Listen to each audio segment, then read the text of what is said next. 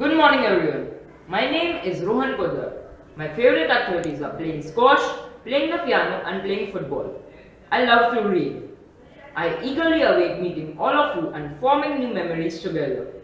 Thank you. Hello, I'm Fioni Shah and my age is 14. I live with my parents and two elder sisters. My eldest sister is already married. So now I'll tell you something about my hobbies. I like playing lawn tennis with my friends. I sometimes participate in tournaments also. My hobbies are listening to music and watching movies. I love dancing, but I hate singing. Though I'm good at painting and drawing, I dislike it. I like hanging out with my friends and meeting new people. Hey friends, my name is Manay Gama. I love sports like football, cricket, running, etc.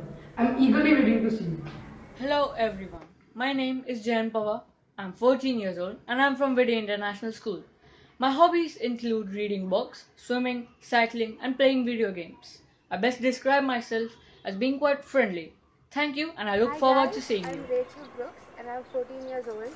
I really like playing the guitar and singing and I aspire to become a cardiologist as biology is my favorite subject.